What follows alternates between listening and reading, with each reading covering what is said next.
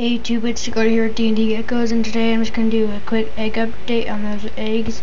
I don't think they're fertile, but I don't know, I'm trying to, I'll try to incubate them. That container was take, that container was taking up too much room.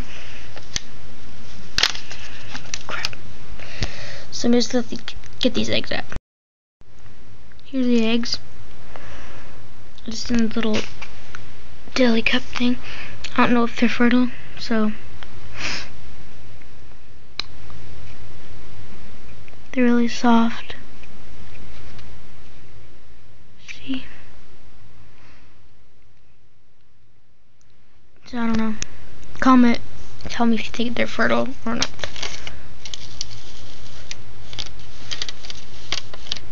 Hold on. This lid breaks really easy Make sure this is really moist. But comment think comment tell me if you think they're fertile or not fertile. Okay? Thanks.